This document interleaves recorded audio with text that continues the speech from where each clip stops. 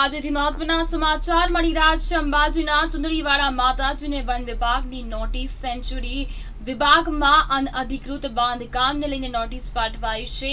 કોઈ પણ પ્રકારની પ્રવૃત્તિ સેન્ચુરી વિભાગમાં ન કરી શકાય તેવું જણાવવામાં આવ્યું છે. તો અંબાજીમાં ચુંદડીવાળા માતાજી દ્વારા મૂર્તિની પ્રાણ પ્રતિષ્ઠા કરવામાં આવવાની છે જ્યારે વન વિભાગ દ્વારા કોર્ટ ઓફ કંડબ થઈ શકે છે તો અંબાજી આરએફઓ દ્વારા ફટકારાઈ નોટિસ. ચંદ્રીવાડા માતાજી ઉર્ફે પ્રહલાદભાઈ જાનીને નોટિસ ફટકારવામાં આવી છે.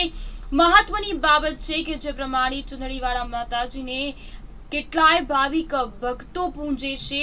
ત્યારે અંબાજીના ચુંદડીવાડા માતાજીને વન વિભાગની નોટિસ આપવામાં આવી છે. સેન્ચુરી વિભાગમાં અનધિકૃત બાંધકામને લઈને નોટિસ પાઠવાઈ છે. ચુંદડીવાડા માતાજી ઉર્ફે પ્રહલાદભાઈ જાનીને નોટિસ પાઠવવામાં આવી છે.